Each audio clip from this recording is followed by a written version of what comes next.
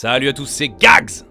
Il est des jeux qui vous proposent, parmi toutes les offres disponibles, un voyage particulier, hors norme, une expérience unique, qui vous touche plus ou moins, selon votre sensibilité, vos affinités, comme pour moi par exemple, la période historique, mais aussi parce qu'ils ont choisi un parti pris, une direction qui va proposer des émotions qui sont peu communes, que vous n'avez pas forcément l'habitude de trouver, notamment dans les AAA et les mondes ouverts d'aujourd'hui. Alors effectivement, on va parler d'un jeu coup de cœur en ce qui me concerne, d'un grand jeu. Je vais vous expliquer pourquoi je me suis attaché à ce jeu, à ce Ghost of Tsushima, que j'aurais dû tester il y a longtemps sur la chaîne, mais je profite de cette version Director's Cut sortie fin août pour vous en faire mon analyse. Et je vais aussi vous dire pourquoi, pour moi, Ghost of Tsushima cherche encore sa voie. Mon analyse va faire appel à des notions qui me semblent extrêmement importantes dans le game design d'aujourd'hui et qui sont très difficiles à tenir.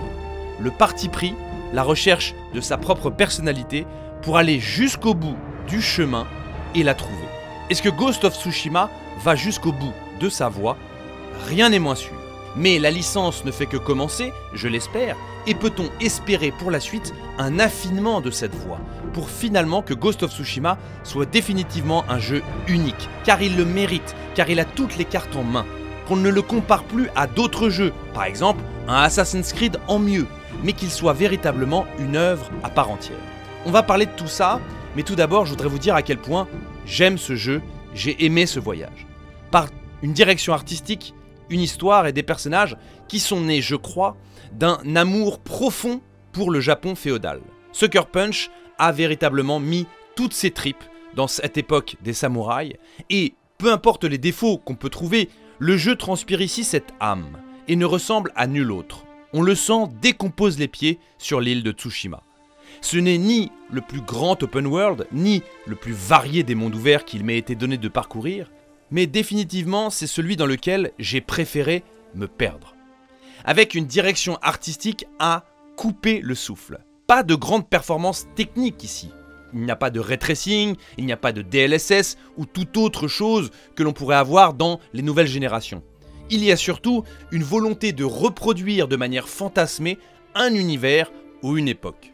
Une direction artistique qui fait appel à un sens magnifique de la lumière, des effets lumineux, des reflets parfois, mais aussi à la météo, à ses ambiances brumeuses, beau temps, orage ou clair de lune.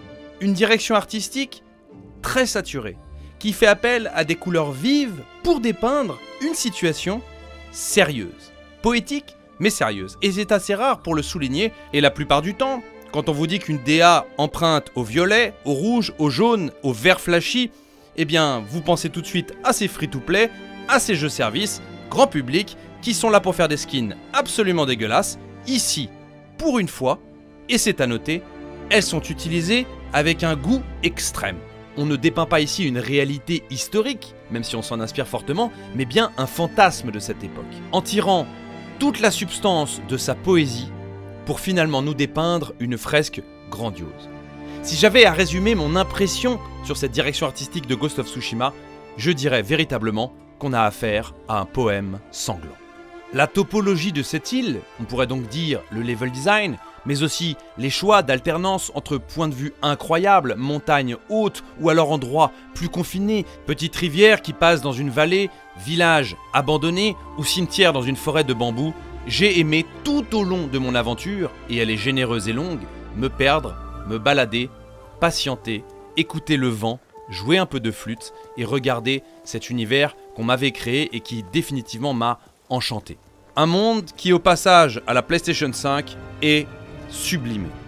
Entre la fluidité, 60 images par seconde, une résolution augmentée, la 4K, et certains effets de lumière améliorés, une lumière magnifiquement fantasmée dans ce jeu, honnêtement, c'est un des plus beaux jeux qu'il m'ait été donné de parcourir ces dernières années, non pas parce que techniquement c'est le plus au point ou à la pointe, mais parce que artistiquement, c'est celui qui vraiment m'en a mis plein les yeux, que j'ai aimé parcourir sans forcément avoir une activité précise ou un objectif précis, et honnêtement, ça ne m'était pas arrivé depuis très longtemps. Un monde qui s'éloigne de la réalité et pourtant qui paraît extrêmement crédible, et qui permet à un scénario qui n'est pas incroyable et révolutionnaire, mais solide, de trouver ici une profondeur dans les racines de ce monde crédible. À la limite parfois du mystique, mais là aussi fait de façon poétique, subtile. Le réel n'est jamais loin, mais l'imaginaire non plus. Sur fond d'invasion mongole, je trouve que les développeurs ont réussi à nous proposer un certain nombre de quêtes, d'activités, d'histoires qui se tiennent. Certaines zones sont encore libérées de l'invasion, d'autres ont été prises d'assaut, il faudra donc les libérer, et on peut ici sentir à tout moment la présence mongole sur cette île, tout en pouvant quand même respirer et ne pas être constamment harassé par un ennemi qui est venu eh bien, tout détruire. Et c'est là, je trouve, dans cet univers, qu'il y a une variété, une alternance du rythme qui m'a aussi beaucoup plu dans ce Ghost of Tsushima, car on peut se balader, récolter, explorer et tout d'un coup entrer dans 20, 30, 40 minutes de moments très intenses, avec notamment un gameplay brutal, efficace, profond et parfaitement designé pour coller au katana. Le fait de ne pas avoir à manuellement loquer un ennemi apporte, je trouve, beaucoup de fluidité et enlève, bien sûr, de l'interface, les différentes postures à changer en temps réel en fonction du type d'ennemi qui nous arrive dessus, j'ai trouvé que c'était aussi vraiment bien vu et que ça apporte bien sûr de la profondeur dans la maîtrise du joueur au fur et à mesure des heures de jeu. Le système de déviation, de parade et d'esquive reprend à certaines inspirations passées mais le fait extrêmement bien. Et toutes les techniques que l'on va pouvoir développer autour de cette action, eh bien je trouve enrichissent à chaque fois le panel d'outils mis à votre disposition pour complexifier vos méthodes d'approche, vos chorégraphies et rendre encore plus profond toutes les situations. Une courbe de progression parfaitement maîtrisée entre une période de découverte, puis une phase de maîtrise, et enfin la volonté de chorégraphier ces combats pour être le samouraï le plus poétique possible.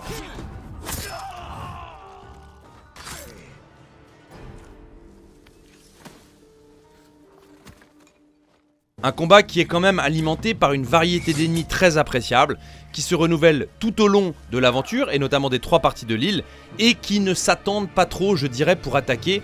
La marge de progression du joueur est donc grande, suffisante pour tenir le long de ce voyage, quand même avec une durée de vie très confortable.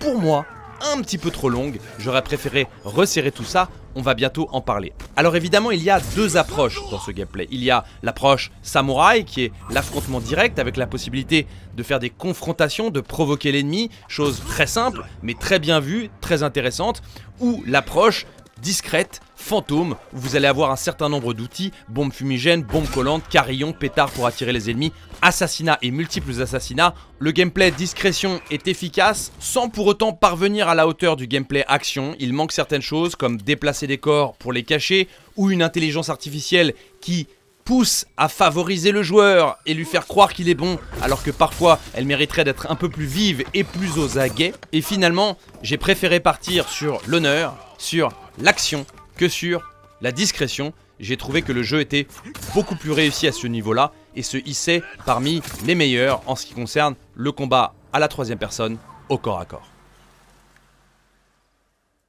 Et puis enfin, on ne peut pas parler de Ghost of Tsushima, de son gameplay, de son intensité sans les duels, qui sont vraiment parfaitement réussis. Très bien mis en scène, même si j'aurais aimé avoir quelques caméras différentes entre chaque duel, ce sont exactement les mêmes à chaque fois.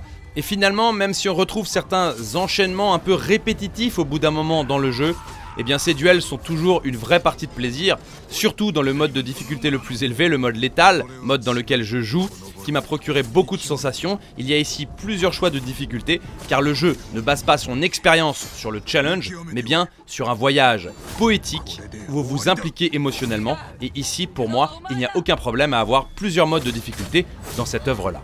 Tout au long de son périple, et pour reconquérir son île, Tsushima, son honneur, l'honneur de sa famille et de sa lignée, eh bien Jin Sakai va devoir faire des choix.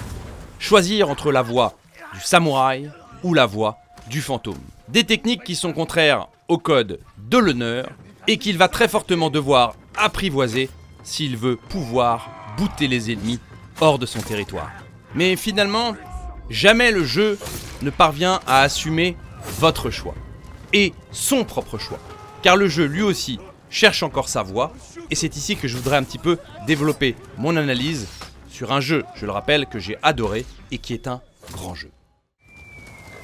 Une des premières volontés des développeurs présentées au-delà de l'atmosphère, de l'univers, était de renouveler ou de réinventer la manière d'explorer un monde ouvert, d'éveiller à nouveau la curiosité du joueur avec le visuel plutôt que l'interface, les icônes et le mode guidage automatique d'un GPS. Et depuis Zelda Breath of the Wild, j'avoue que j'attendais énormément ces mécaniques-là, notamment dans un gros triple A. Prendre le risque et assumer le parti pris d'éveiller l'audace, la curiosité du joueur et son autonomie dans un monde parfaitement réussi et où on aime se perdre. Mais finalement, il ne parvient qu'à moitié à le réussir.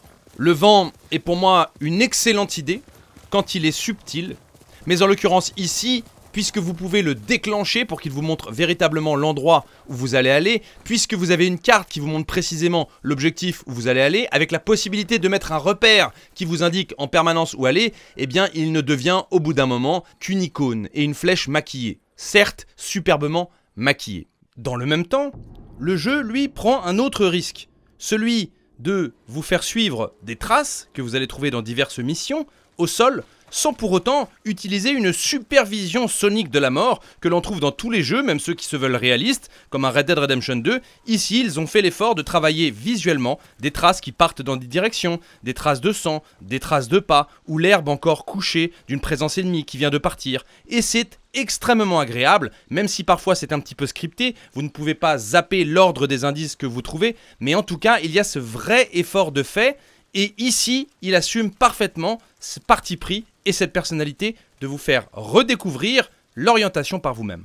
Il y a quelques rares quêtes de légende très réussies où on va devoir se repérer grâce à une peinture. Et ça, je trouve que le jeu aurait véritablement gagné à nous proposer des objectifs beaucoup plus basés sur ses repères visuels. Dans le monde, un léger vent directeur aurait suffi pour certaines parties de l'aventure, car il y a ici un univers qui peut vous perdre car il a les ressources pour le faire tellement il est riche. Et l'explorer est un régal. Cependant, 90% du temps, le jeu le fera pour nous. Avec les oiseaux, les renards, et au final, on trouve très très peu de choses par nous-mêmes. Quel dommage C'est pourtant quand c'est arrivé, parce qu'un oiseau ne s'est pas déclenché, ou parce qu'il y a quand même quelques secrets dans l'île qu'on ne vous dévoilera pas, eh bien c'est ce que j'ai préféré. Voir un repère au loin, dans la brume ou dans le soleil, avoir la curiosité d'aller entre ces rochers, découvrir ces fleurs, ce panorama, cette prairie, et puis engoncer près d'une plage, trouver par soi-même un secret. Le jeu aurait véritablement gagné à assumer cela à garder ces mystères pour l'autonomie et la curiosité du joueur, et ne garder le renard ou l'oiseau qu'en de rares occasions, et qui aurait évité au bout d'un moment cette très grande lassitude et l'impression de répéter de manière automatique les terriers de renard, etc. etc. Et cela n'aurait pas entaché l'aventure. Le joueur aurait été récompensé de son audace, de sa curiosité, et aurait trouvé véritablement une gratification dans l'exploration. J'irais même plus loin en termes philosophiques et théoriques sur cette mécanique de design, cela revient à finalement indiquer au joueur quand des choses intéressantes sont autour de lui, en mettant ces renards, ces oiseaux, ou même des points d'interrogation sur la carte que l'on trouve encore dans ce jeu et qui pour moi n'ont rien à y faire, eh bien ceci revient aussi à signifier quand il n'y en a pas.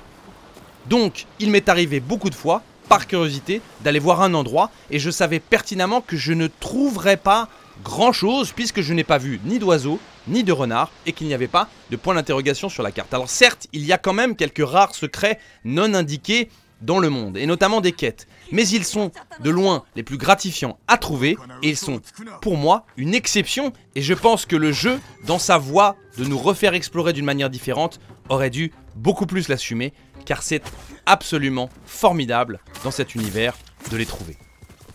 Autre petit détail, dont on a d'ailleurs parlé lors de sa sortie, les ressources qui clignotent dans l'environnement. Option certes désactivable, mais qui reste visible même si elles ne clignotent plus.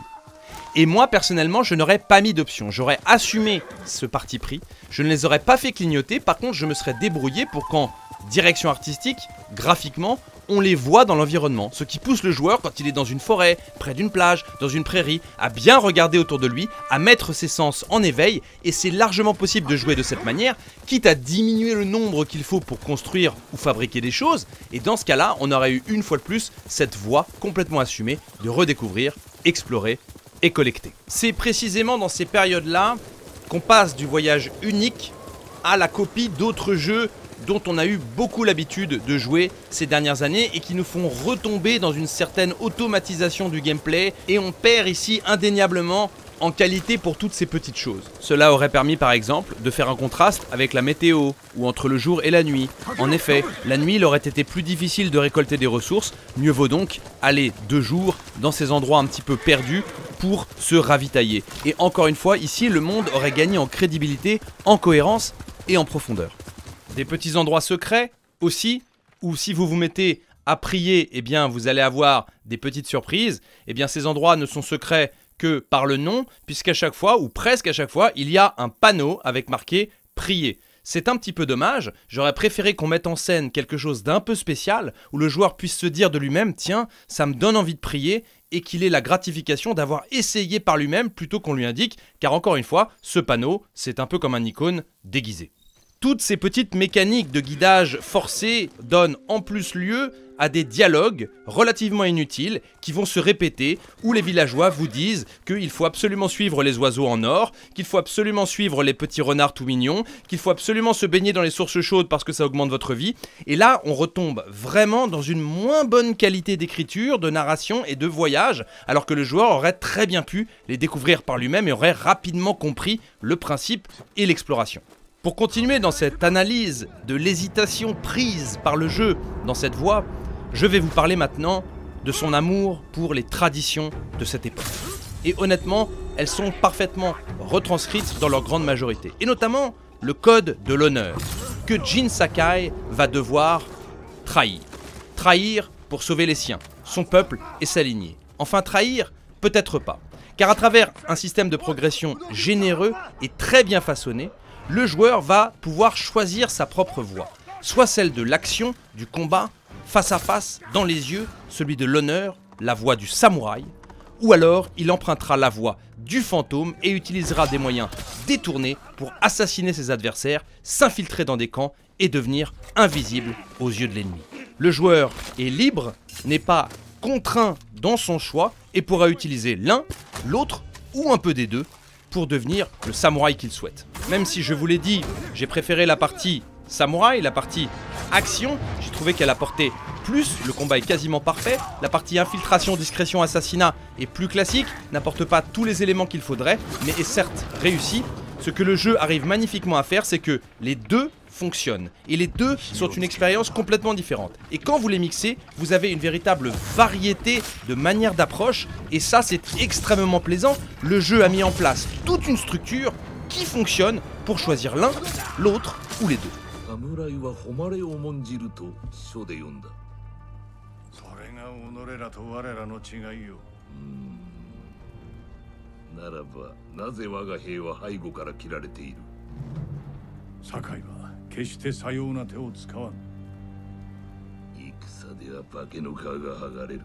Et pourtant, pourtant, le jeu, dans son scénario, nous force constamment à devenir fantôme. Que ce soit des compétences obligatoires quand votre légende grandit, jusqu'aux cinématiques qui parlent de vos faits d'armes fantomatiques, alors même que vous n'avez pas du tout choisi cette voie, le jeu, ici, en fait, ne vous laisse absolument pas le choix dans son histoire. Et c'est bien dommage, car après avoir mis toute cette liberté en pratique dans ses mécaniques, il aurait été tout à fait faisable de pouvoir prévoir dans le scénario l'option d'avoir deux voix. Soit en ne le mentionnant pas trop, soit en faisant quelques petites alternances de cinématiques, quitte à garder exactement les mêmes scènes mais à changer les dialogues, je pense que ça n'aurait pas coûté très cher, dans les transitions où on parle justement de Jin Sakai et de ses manières de faire pour reconquérir l'île. Et finalement, quand on regarde le scénario au global, classique, solide, moi je l'ai vraiment bien aimé, avec des cinématiques prenantes, avec des missions aussi extrêmement prenantes, notamment des phases de siège que j'ai trouvé vraiment super bien, eh bien, toutes les parties où on insiste sur le fait que Jin Sakai a changé, est devenu un samouraï de l'ombre, un fantôme, ces parties ne sont pas si importantes que ça. Et je pense qu'on aurait dû suivre les actions du joueur pour coller à ce qu'ils souhaitent être et ce qu'ils incarnent dans leur quête de reconquête. Le jeu met donc à disposition du joueur dans sa structure, ses mécaniques, tout ce qu'il faut pour qu'il puisse faire un choix dans sa voie, alors que lui-même, ce titre, ne suit pas sa propre voie et sa vraie voie, celle du choix. Puis, je parlais d'honneur. Et dû au fait que le jeu intègre de la collectionnite aiguë, du farming, même s'il est très agréable pour la majeure partie, eh bien, le pillage constant de ressources, même chez les survivants, n'est pour moi pas du tout en accord avec le code samouraï, ni ce que l'on représente, ni ce que l'on veut bien nous faire croire. Une mécanique ici qui est vouée uniquement à nous faire progresser, que ce soit la, fabrication d'armures, de katanas, d'emplacements supplémentaires pour vos outils, eh bien pour moi, arriver dans un village de survivants qui ont encore faim, qui ont peur, et rentrer dans les maisons, prendre du cuir, prendre des provisions, prendre le bambou et se barrer, est pour moi totalement contre-immersif par rapport à ce que le jeu raconte. Et j'aurais largement préféré que le jeu dans ces endroits n'en mette pas et nous laisse tout ça dans les convois qui ont été attaqués, les villages abandonnés, les endroits secrets sans nous les montrer. Ça aurait beaucoup plus poussé à l'exploration, à faire des petits voyages annexes pour justement aller trouver ces ressources. Cela aurait été plus cohérent et cela n'aurait pas trahi le code de l'honneur que Jin Sakai est censé poursuivre. C'est ici le principe même d'une mécanique de progression qu'on a développé dans tout le jeu, qu'on a mis un petit peu partout parce que comme ça c'était plus simple. Et finalement le jeu aurait mérité de penser cette mécanique un peu mieux pour moi et d'assumer pour garder cette crédibilité dans un monde véritablement incroyable. Alors évidemment le jeu est extrêmement généreux. Et j'en parlais dans une de mes dernières vidéos, parfois une trop grande durée de vie ne sert pas forcément le propos, ne sert pas la qualité finale et l'intensité de votre aventure. Ici, les quêtes secondaires sont très nombreuses, euh, ce sont les petits losanges blancs et sont parfois trop orientées sur le combat. Même si certaines, quand même, se démarquent, notamment au niveau des petites histoires qu'elle veut raconter.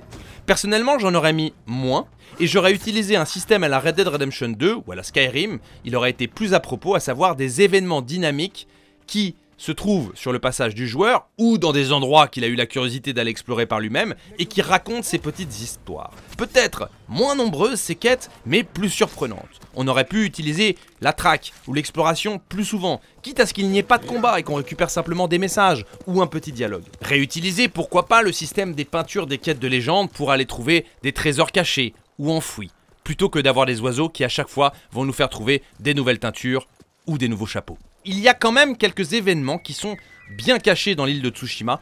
Et quand vous arrivez sur ces petites quêtes qui ne sont marquées ni par des fausses icônes ou maquillées, ni par des points d'interrogation, vous avez un plaisir énorme à vous dire j'ai vécu quelque chose d'unique que j'ai trouvé par moi-même, je suis dans mon aventure et elle ne ressemble à nulle autre. Et puis, évidemment, quand vous diluez trop votre aventure principale, quand vous desserrez votre scénario et son intensité pour aller faire vaquer le joueur à de moultes activités, surtout quand elles sont répétitives, qu'elles sont moins surprenantes, je pense qu'à un moment donné, vous pouvez légèrement perdre en qualité et ne pas assumer ce que vous vouliez vraiment raconter. Ça d'ailleurs, Red Dead Redemption 2 le fait très bien. On n'est pas trop pollué par des tonnes de choses à faire sur les contours de l'histoire et les quêtes secondaires. C'est assez finalement resserré. Oui, on peut aller chasser et il y a des événements dynamiques qui sont sur notre chemin et qui s'emboîtent assez bien finalement avec ce qu'on va faire et ce que le jeu raconte. Ici, parfois, on peut perdre l'aventure principale pendant des heures entières, tout ça pour euh, débloquer les 50 terriers de renard, les 60 euh, chapeaux, etc. Et ça, parfois, c'est un petit peu dommage, j'aurais préféré le laisser à la discrétion de la curiosité du joueur et de son exploration. J'ai essayé ici de vous dire à quel point j'aime ce jeu, à quel point c'est un grand jeu, et à quel point c'est ma vision du jeu, surtout. Ce n'est pas forcément la vôtre, ni celle des joueurs qui ont adoré, des milliers de joueurs qui ont aimé ce jeu. Je lui porte un infini respect et c'est un des mondes ouverts que j'ai préféré arpenter. Honnêtement, ce héros m'a touché, son histoire, les personnages, les à côté aussi. C'est juste que cette petite analyse, j'avais envie de vous la faire parce que je pense que en trouvant sa vraie voix, le jeu aurait été encore plus unique et nous aurait apporté une expérience encore plus forte. Alors évidemment, avec la Director's Cut, eh bien, il y a 10, 15 heures supplémentaires sur l'île d'Iki. Une île qui est aussi très bien réussi, qui d'ailleurs corrige certains axes de tir, notamment sur la narration, les quêtes secondaires. Par contre, je trouve qu'elle s'insère entre l'acte 1 et l'acte 2, ce qui va encore plus diluer le scénario. Personnellement, je ne le ferai pas. Si j'étais vous, j'attendrais la fin du jeu. Après, encore une fois, l'île d'Iki est magnifiquement designée. Elle possède une verticalité vertigineuse qui rend hommage eh bien, à la technique et à l'univers produit ici par Sucker Punch. Elle allie aussi plus de subtilité dans l'arborescence des quêtes secondaires.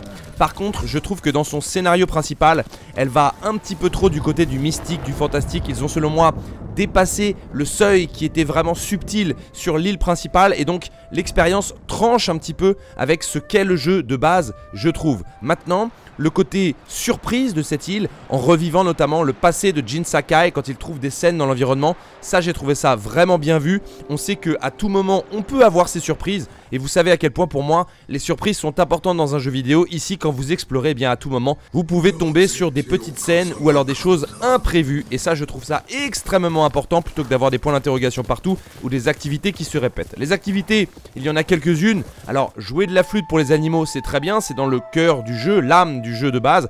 Par contre, faire des concours de tir à l'arc un peu partout sur l'île alors que les mecs sont envahis par les Mongols, j'ai trouvé ça un petit peu moins cohérent. Et encore une fois, un petit peu de remplissage inutile selon moi. Il y aurait pu avoir un endroit où il y a un concours de tir à l'arc pour faire une activité. Mais là ici, une fois de plus, on a un petit peu de remplissage. Alors évidemment, l'île d'Iki elle apporte aussi des choses bienvenues comme une nouvelle armure assez sympathique ou alors la charge du cheval qui vous permet eh d'aborder des situations encore différemment, qui est plutôt bien équilibré donc qui, ne déséquilibre pas les combats, l'approche notamment samouraï si vous voulez avoir cette approche là. Et enfin, elle proposera euh, des ennemis un peu plus variés. Alors rien d'unique Hein, notamment les chamans qui boostent les alliés autour. On a déjà vu ça dans plein de jeux, donc c'est pas sur cet aspect-là que le jeu sera unique une fois de plus. Moi, ce que j'attends, c'est la suite de cette licence, le futur de cette licence, et j'espère qu'il intégrera dans son parti pris et les risques qu'il veut entreprendre cet aspect faire confiance aux joueurs, cet aspect le plonger véritablement en immersion, s'abstenir de nombreuses mécaniques qui ont été vues et revues par le passé dans les mondes ouverts et dont, j'en suis persuadé, les joueurs aujourd'hui ne veulent plus. En tout cas, de cette manière. Voilà, j'espère que mon avis vous a plu, vous a intéressé. J'ai essayé d'aller un petit peu plus loin puisque le jeu est déjà sorti depuis longtemps. Faire un simple test n'était pas forcément intéressant. Ça m'a fait plaisir de replonger dans cet univers, d'essayer de le détailler un maximum, d'aller chercher les petites choses qui m'ont un tout petit peu chagriné. C'est un grand jeu, vraiment Sucker Punch, vous avez fait un travail magnifique. J'aurais aimé le designer, j'aurais aimé le développer et je suis sûr que vous êtes tous très fiers de ce que vous avez pu faire. Moi je vous retrouve très bientôt pour de nouvelles analyses, de nouveaux débats, de la théorie. En bref, je retourne user de mon katana avec chorégraphie. Sucker Punch, encore merci pour ce monde ouvert d'anthologie et surtout, surtout, cette magnifique poésie. Moi je vous dis à très bientôt, c'était Gags. Ciao